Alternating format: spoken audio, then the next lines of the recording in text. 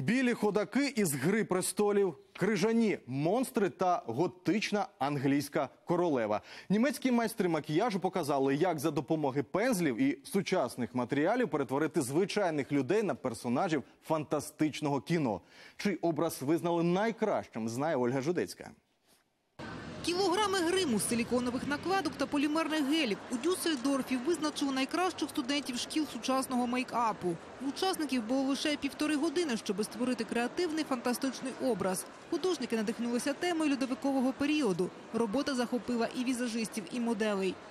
Супер, це нагода зазирнути за лаштунки кіно, побачити, як гримують акторів. У звичайному театрі таких речей уже переважно не роблять.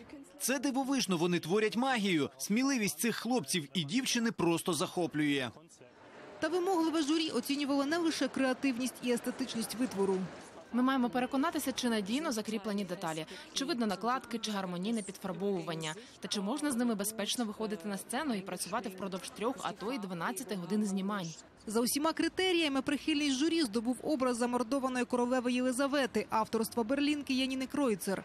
Дівчині дістається головний приз – тисяча євро. Їх переможниця планує витратити на матеріали для своїх наступних робіт. Ольга Жидецька, новини, телеканал Інтер.